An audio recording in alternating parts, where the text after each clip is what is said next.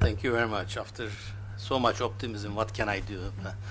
Um, I was asked to talk about Turkey, and uh, Turkey has already been mentioned a number of times. So let me try to put uh, all these views into a perspective uh, from a, a, Turkish perspective, but not Turkey's perspective. Um, Turkey has gone through a number of phases as far as Middle East is concerned, and I think has come to a full circle, almost full circle.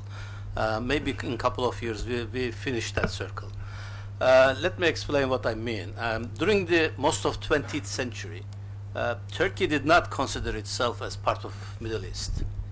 Um, with the Atatürk's revolution, a cultural revolution, um, Turkey somewhat turned its back for that culture not the region, but to the culture. So, because of that, um, uh, it looked towards Europe, towards the West in general.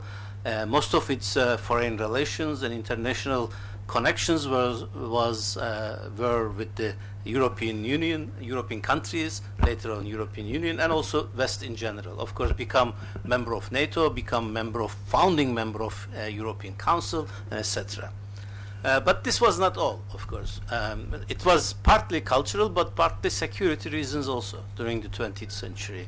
Uh, when Turkey looked to the east or south, it saw only conflict. Uh, when it looked to the west, uh, to Europe, it saw uh, a developing region in peaceful relationship. So that was th there was an attraction there.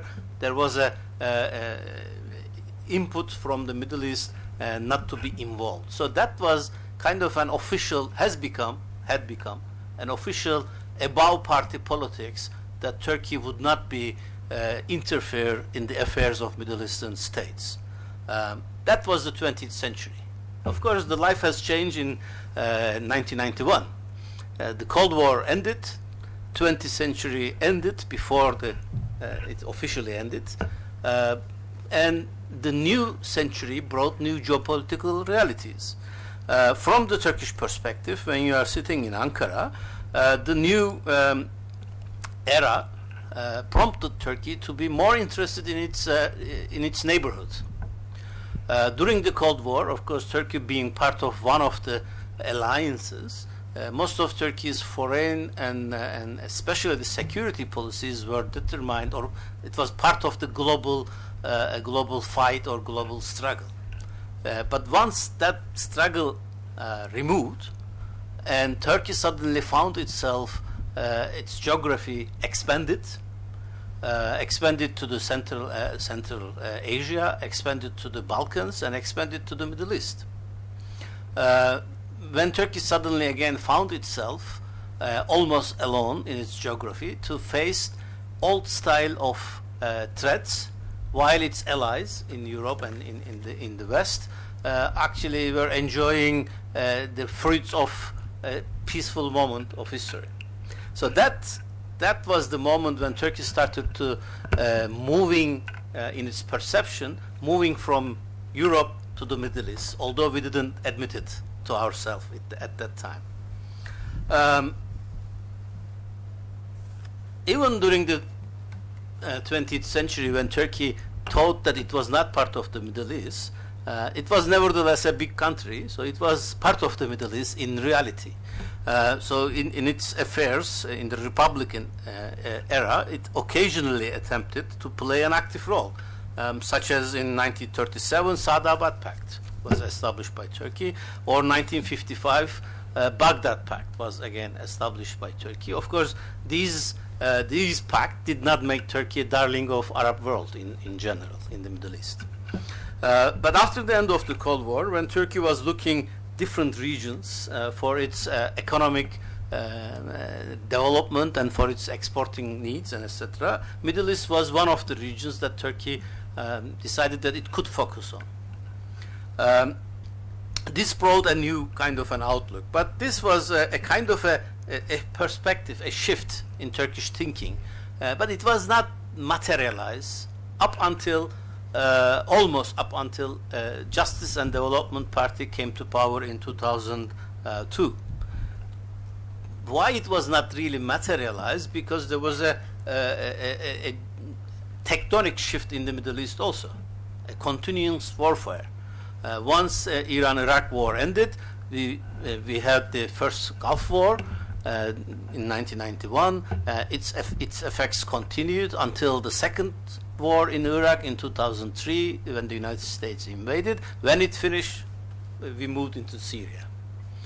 So this kind of a, a, a, perspective looking from Turkey uh, brought an understanding of the region from a security and strategic uh, per perception. When you look at it from the security perspective for Turkey, uh, after the end of the Cold War, most important issues was were uh, prevention of uh, PKK, that's the Kurdish uh, guerrilla group from Turkey, uh, operating from Middle Eastern countries, first from Syria, then from Iraq, attacking Turkey. So that was the first priority, how to stop this and how to um, struggle with it. The second priority has become how to prevent instability of the region um, uh, spilling over into Turkey starting from the Gulf War onwards. Uh, in, in this kind of environment, 1999 um, was an important watershed.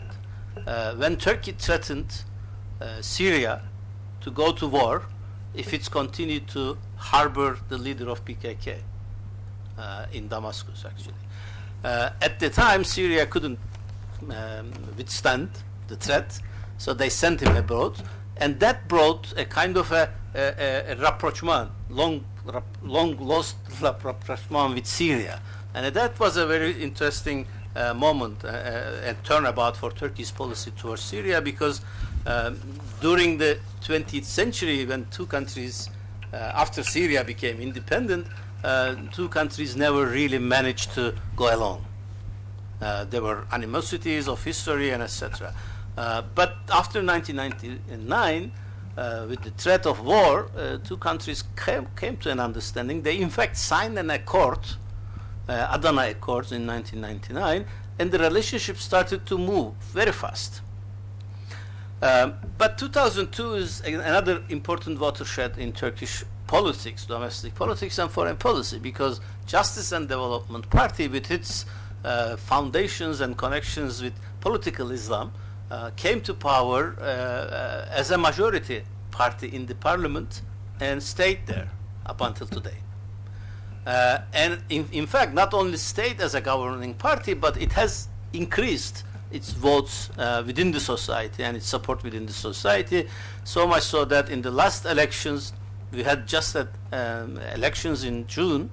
Uh, the, the, president now we have we moved decided to move last year to presidential system, and the current president Recep Tayyip Erdogan is also the leader of Justice and Development Party. He received 52% of the votes. When AKP came to power in 2002, it was 40, uh, 34%. So instead of losing uh, in the power, they keep steadily uh, gaining. And uh, by the way, there was there has been 18 elections since 2002 up till today, um, local and general and etc. They won all of them. So we are not talking a, a, a passing phase here. Um, with AKP, there came number of things. One is AKP has been, or Justice and Development Party, has been a representative of the sociological change in Turkey. Turkish society that most of us has failed to uh, uh, failed to foresee. Uh, that was the rise of uh, middle classes, uh, a pupious, uh, more conservative middle classes who started to moving to the cities much before the Arabs started to moving to cities. In Turkey, this internal immigration has started in 1950s, came up to its, its fastest phase in 1970s, uh, and by the 1990s, um, Turkish uh, uh, cities have covers now uh, more than 70, then more than 70% of the population. Now it's 80%. So 80% of Turkish population today lives in the cities. Again, not all of them, of course, have the background of uh, uh, normally uh, people who live in the cities. Some of them are villagers and etc. they come etc. But these these are, these are the people who are actually voting en masse um, to to the AKP. But at the same time, in from the 1980 onwards, uh, we had a liberal le revolution, economic liberal revolution in Turkey, uh, liberalizing Turkish economy, integrating into the world, and etc. This helped what we call Anatolian bourgeoisie to develop, uh, which is actually uh, more conservative than the Turk traditional Turkish Istanbul-based bourgeoisie, which again supported the AKP. So these these bases are actually were and are still are in favor of Turkey's expanding its connections and relationship with the Middle Eastern countries or Muslim countries in general. Sometimes, of course, the, the idea is, is coached again uh, in terms of Middle East, sometimes Muslim countries, sometimes former Ottoman countries, sometimes Turkic countries, but it's nevertheless it's, it's the same idea actually. Um, so uh, the second, another area that AKP brought into the politics was the change because they were not they were not part of the establishment, traditional establishment of Turkey. Uh, uh, you know, the, from the, the center, left and right parties, they were in a sense coming outside from the system. They wanted to change the system. They wanted how the traditional Turkish foreign policy has been running. And one of the complaints that AKP had was that Turkish foreign policy was focusing too much on security issues, therefore conflicts. So they wanted to change that. To change that, to focus more on collaboration uh, and cooperation within its neighborhood. Uh, of course, this also helped Turkey is looking into the into the Middle East. So with these ideas, then uh, at the time, the advisor to the minister, uh, foreign affairs advisor, then he became Minister of Foreign Affairs, then the Prime Minister, Mr. Ahmet Davutoğlu, or Professor Ahmet Davutoğlu actually, uh, he imagined a world uh, centered on Turkey uh, and looking and trying to connect different localities in the world to Central Asia, to Caucasia, to Europe, to Balkans, to the Middle East, to the Mediterranean, everything linking to Turkey because of Turkey's historical, uh, cultural, and national uh, standing. This was a kind of an imagination that caught the attention of uh, Justice and Development Party and most of it, most of their intelligentsia, and it affected the foreign policy, of course. Uh, with these ideas in mind, uh, there emerged several uh, uh, several new policy lines from from the Turkish foreign policy. Um, Turkey started to implementing, for example, joint cabinet meetings with its neighboring countries. This started with uh, uh, with Iraq, I think, if I remember correctly. Syria. Then Syria, uh, Greece, Bulgaria, Romania, Azerbaijan, and Russia. Finally, you know, we had implemented this joint at the time joint uh, cabinet meetings. Um, then Turkey also implemented in the Middle East uh, free trade areas.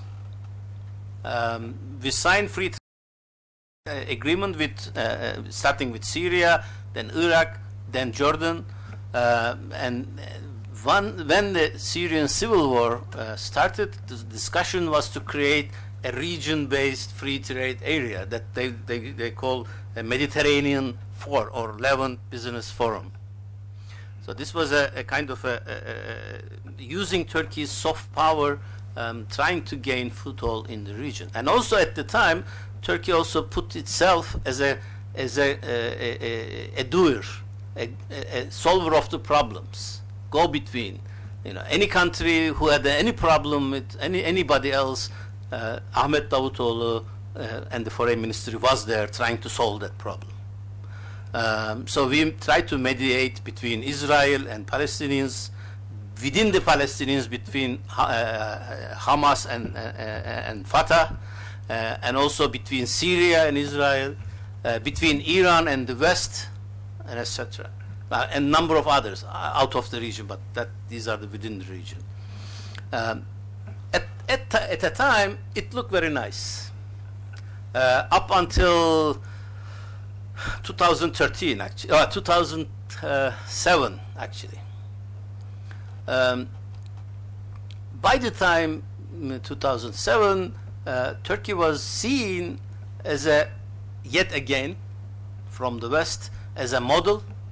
Uh, this is the third time in my lifetime that Turkey is seen as a model to somewhere.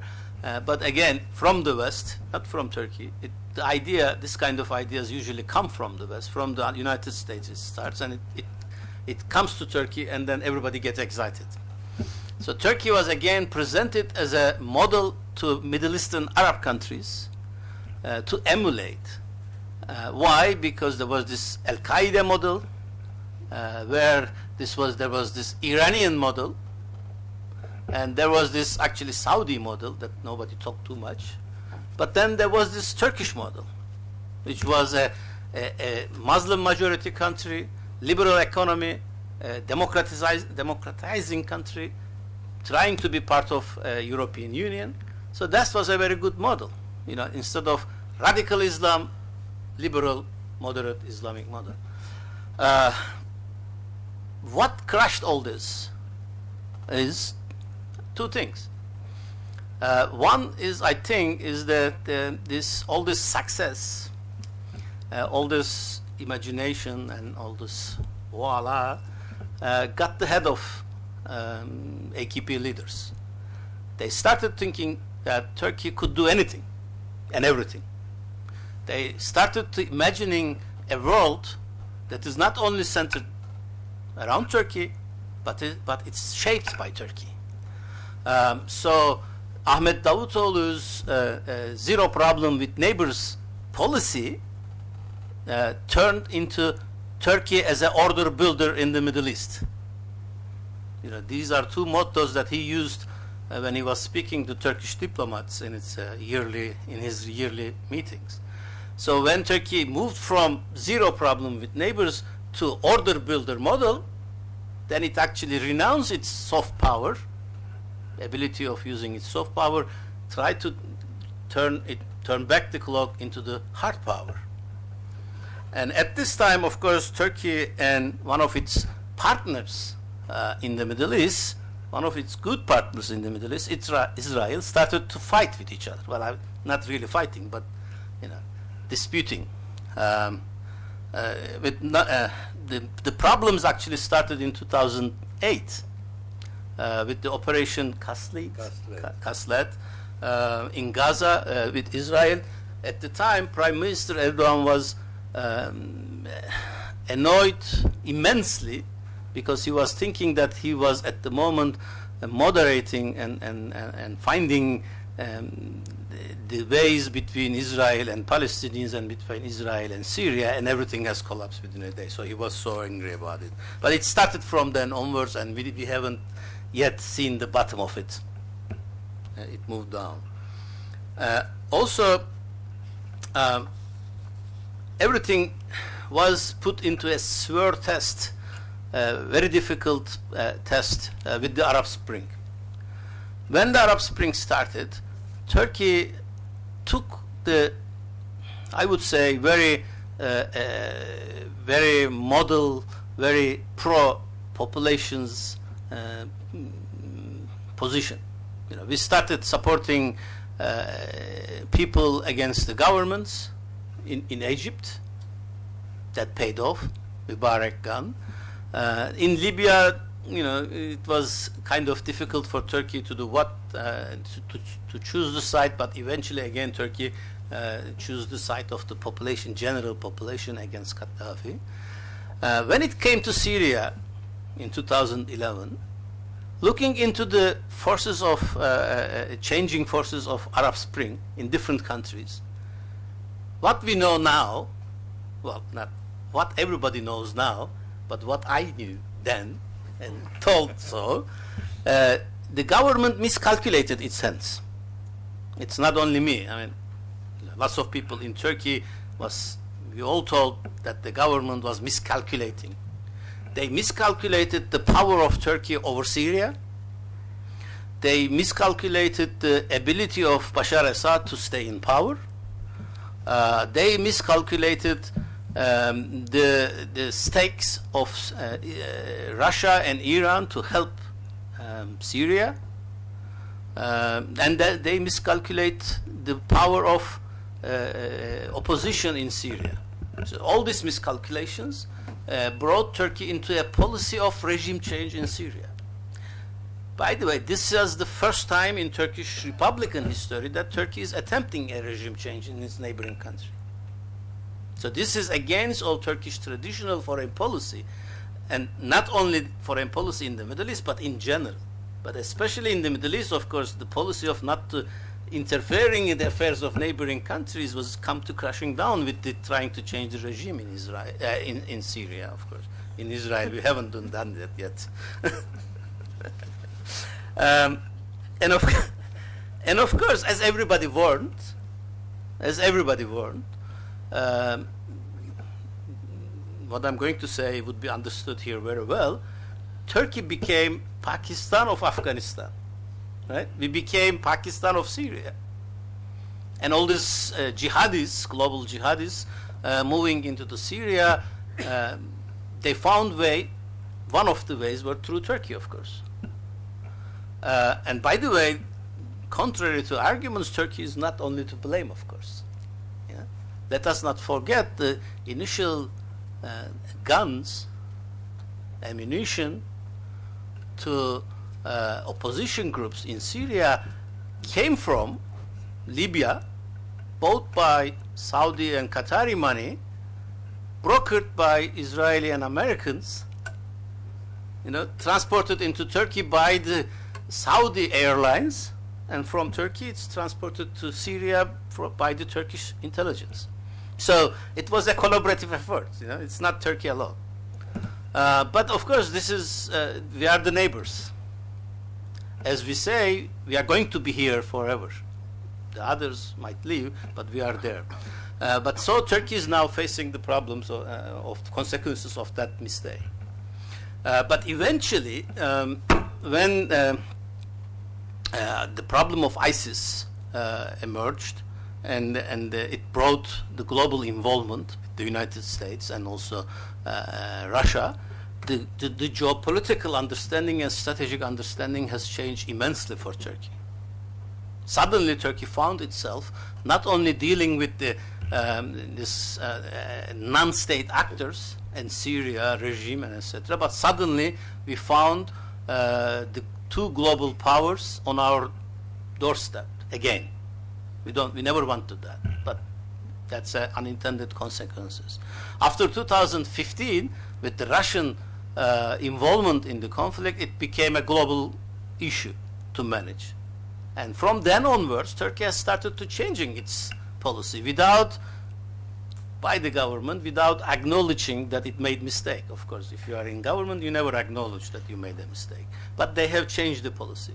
Now, Turkish policy in Syria has become um, focused, not the removal of al-Assad, which was up until 2015, but to prevent spillover effect of the conflict into Turkey. There are a number of issues that could spill over into Turkey, but from the Turkish security perspective, of course, most of the biggest challenge is the Kurdish, uh, the, the future of the Kurdish groups in Syria, whether they are going to control the border uh, areas next to Turkey.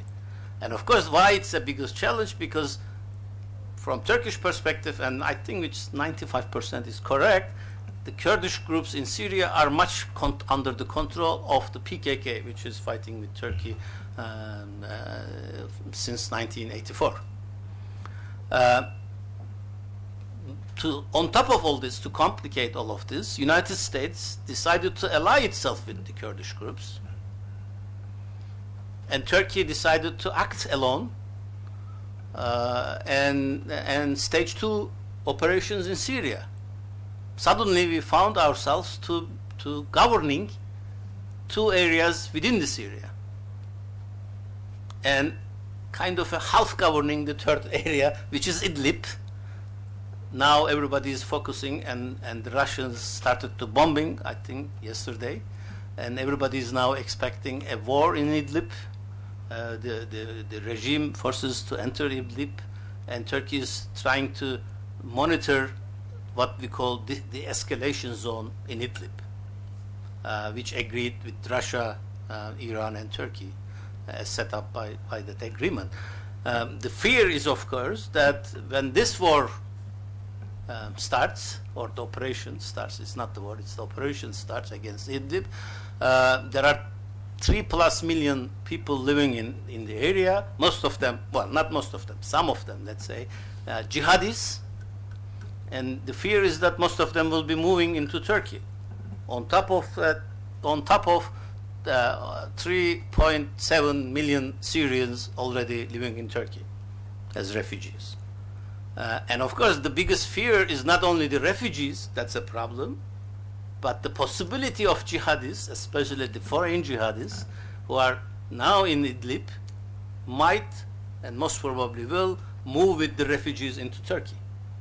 So how to deal with them, what to do with them, how to separate them from the civilians uh, would be a, a big problem, and also how to isolate Turkish control areas in Syria without being affected uh, from this conflict uh, is the current uh, discussion. And on, on all of this, of course, Turkey is trying to manage, yet again, a very, a very tight position uh, between uh, United States, which we are fighting on separately, disputing separately in NATO and in economy and etc., uh, and also also the Russia, which we seem to be cooperating, but at the same time not cooperating. So we'll, we'll try to balance that too. So this is kind of uh, currently Turkey's Middle East policy. When everybody is focusing in this, Turkey at the same time silently, without many people noticing, have been staging an operation in Iraq which was involved, which has involved as many um, soldiers as many we had in Syria. So, but we are not talking about it. It's hush. So let me stop here. Professor, I